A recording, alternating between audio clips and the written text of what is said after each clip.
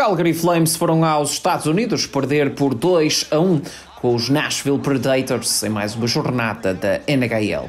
Josie e Parsinen deram vantagem aos homens da casa no primeiro período. Zadorov reduziu para o conjunto do Canadá na etapa seguinte, mas de pouco valeu o tento do defesa russo. O campeonato canadiano de 2023 vai começar a 18 de abril com 14 clubes, incluindo o campeão em título, o Vancouver Whitecaps, três novos estreantes na competição.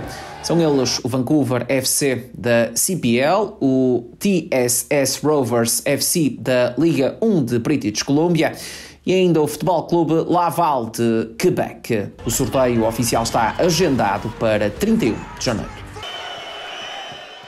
As medalhas a serem atribuídas nos Jogos Indígenas Norte-Americanos deste verão em Nova Scotia mostram a arte Mi'kmaq, incluindo uma estrela tradicional de oito pontas. O presidente dos Jogos, George Tex Marshall, diz que o design capta o espírito do evento e do povo anfitrião Mi'kmaq.